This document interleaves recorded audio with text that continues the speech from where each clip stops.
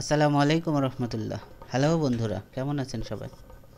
Online স্কুলের পক্ষ থেকে আমি বদিল হক আপনাদেরকে স্বাগতম জানাচ্ছি আজকে আরেকটি নতুন টিউটোরিয়ালে আজকে আমরা মাইক্রোসফট অফিস ওয়ার্ড দুই হাজার সাতে শেপ নিয়ে কাজ করব।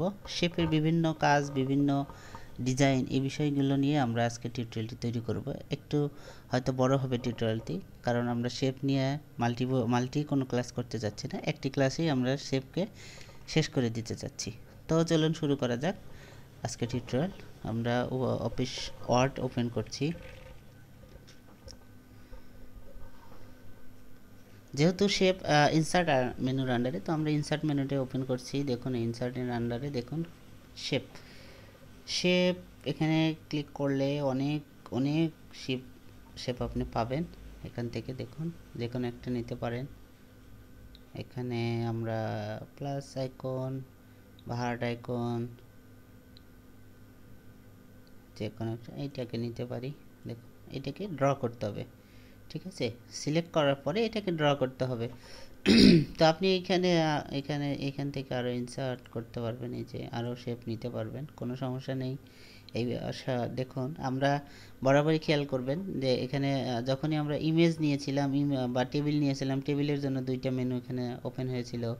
ইমেজের জন্য আমাদের একটা ফরম্যাট মেনু ওপেন হয়েছিল। তেমনিও শেপের জন্য একটা ফরম্যাট মানে মেনু আমাদের এখানে ওপেন হয়ে গেছে। তো এখানে সিলেক্ট করলেই এটা হবে ফরম্যাট ওপেন হবে। এর আগে না, এখানে ক্লিক করলাম, দেখুন এখানে। আচ্ছা এরপরে এখানে কি দেখুন শেপ স্টাইল এখানে সিলেক্ট করলে দেখুন অনেক স্টাইল আছে, অনেক অনেক। এগুলো ডিফল্ট হিসাবে দিয়ে দেওয়া আছে। আপনি যে কোনো একটাকে সিলেক্ট করে দিতে পারেন। আমি ব্ল্যাক অ্যান্ড হোয়াইট দিচ্ছি না, এটা দিলাম।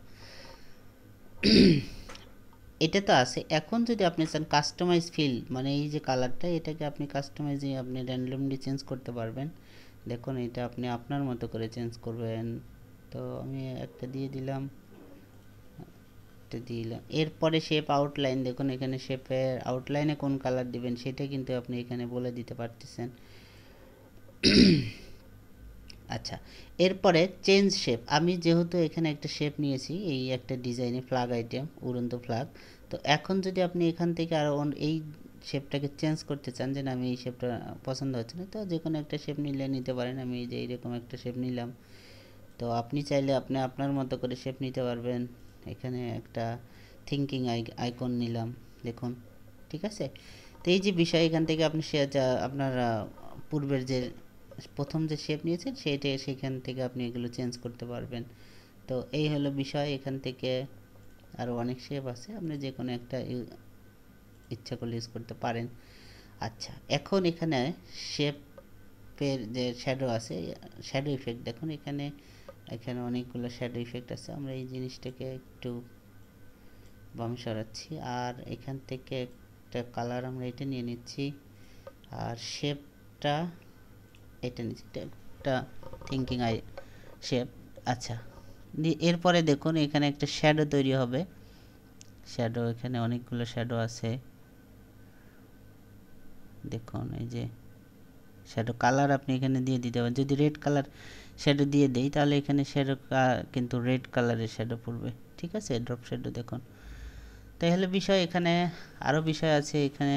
দেখি এগুলো কি আমি আসলে নিজেও এত বিষয় যে আসলে দেখার এত সময়ই নাই। প্রোগ্রামিং সফটওয়্যার এই বিষয়গুলো দেখতে দেখতে। তো যাই হোক, এরপরে দেখুন এখানে থ্রি ডি ইফেক্ট ইনঅ্যাক্টিভ এখান থেকে হয়তো অ্যাক্টিভ হয়তো কোনো একটা পজি অন্য কোনো ইফেক্টে হয়তো পড়তে পারে।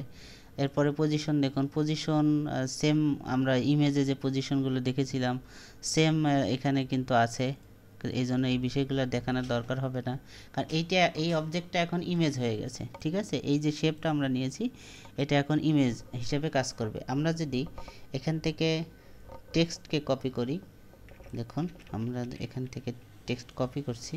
কপি করার পর যদি পেস্ট করে দেই, এখন এইখানে আমরা এই যে শেপটা নিচ্ছি, এখানে দেখুন এই যে টেক্সট ড্রপিং আমরা যদি এটা টাইট করে দিই, দিয়ে এখানে যদি ছেড়ে দিই, দেখুন, ঠিক আছে? তো এই হলো বিষয়। এর ভিতরে আপনি আবার টেক্সট নিতে পারবেন, এটাও আমরা দেখব, আস্তে আস্তে সবই দেখব। তো আপনারা যারা বেসিক লেভেলে আছেন, আশা করছি অ্যাডভান্স লেভেলে চলে যাবেন। আমাদের এই টিউটোরিয়ালগুলো দেখতে দেখতে ইনশাল্লাহ কারণ আমরা সহজ বাংলা ভাষায় টিউটোরিয়াল করার চেষ্টা করছি, আপনাদের জন্যই চেষ্টা করছি। তো এই হলো বিষয়। আর এখানে হোয়াইট হাইট আপনারা জানেন, এখানে ইমেজের ব্যাপারেও আপনারা দেখেছেন।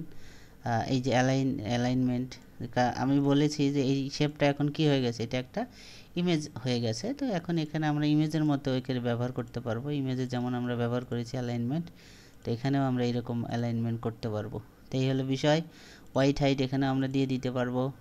তো আজকে এই পর্যন্তই। ধন্যবাদ সবাইকে। আসসালামু আলাইকুম রহমতুল্লাহ।